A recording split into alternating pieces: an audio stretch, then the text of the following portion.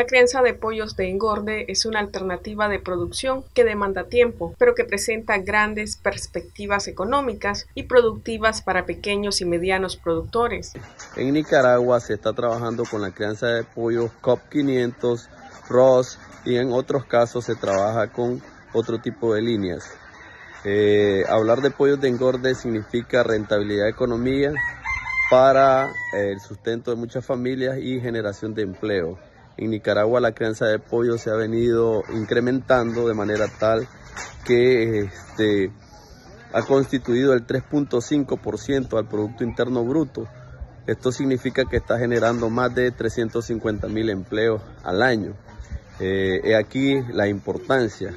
Y el manejo es fácil, en un ciclo de 5 a 6 semanas en donde se puede eh, estar... Eh, eh, obteniendo una rentabilidad o un revolvente de dinero cada seis semanas. Es un emprendimiento atractivo que requiere instalaciones sencillas y de bajo costo.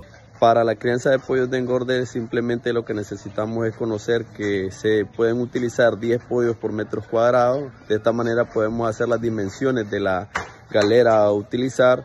Debemos de conocer eh, la orientación con que se va a establecer la galera, conocer el plan de manejo zoosanitario que se implementa en todo caso, no son muchas vacunas las que se aplican en la crianza de pollos de engorde porque el ciclo es corto. Eh, elegir eh, una cama o sustrato donde van a estar eh, los pollos de engorde, que en este caso se utiliza mucho la cascarilla de arroz para la crianza, saber y conocer sobre la anatomía y fisiología del pollo de engorde y conocer algunas enfermedades para tratarlas a tiempo. Una de las enfermedades más comunes es enfermedades respiratorias y eh, problemas de pododermatitis en, en los animales.